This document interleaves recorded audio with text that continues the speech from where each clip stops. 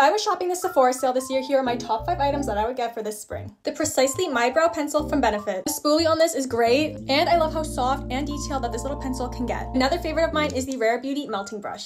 Blush. This is the shade Nearly Mauve, and I think it like complements Asian tan skin so nicely. The lips, we got the Dior Lip Glow. This makes my lips so glowy and shiny, literally nothing can beat it. It's no secret Laneige is one of my favorites and I have been using the heck out of this lip balm. My lips get so chapped and ugly, but this stuff always saves me every single night. And lastly, one of my favorite setting sprays, Urban Decay. This is literally my go-to. I used this in college and it's still my go-to. Let me know some of your top 5 favorites down below in the comments if you are shopping the next Sephora sale.